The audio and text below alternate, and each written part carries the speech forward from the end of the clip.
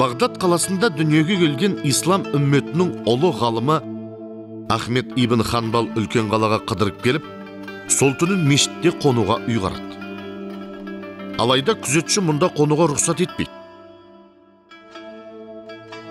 Барар жері болмаған соң енді мешіттің жанына қисаяды. Күзетші тағы да сүйрей жөнеледі. Сол тұста өтіп бара жатқан бір наубайшы араға түсіп оны наубайханада түнеуге шақырады.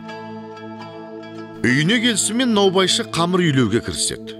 Төсекте жатқан имам ахмад оның аузы тынбай истихбар айтып жатқанына таңданып себебін сұрайды. Сонда наубайшы осы дұғамның нәтижесінде барлық тілегім орындалып еді. Біреуі ғана болмай жатыр. Ол ұлы ғалым ахмет ибн хамбалды өз көзімен көру.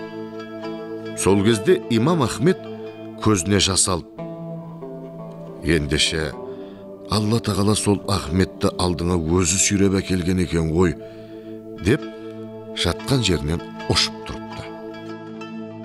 Аңыздарда ғана айтылатын адалдың тілегін алла тағала күтпеген жерде нәсіп етеді деген сөз бәлкім осындай ақиқаттан алынған болар.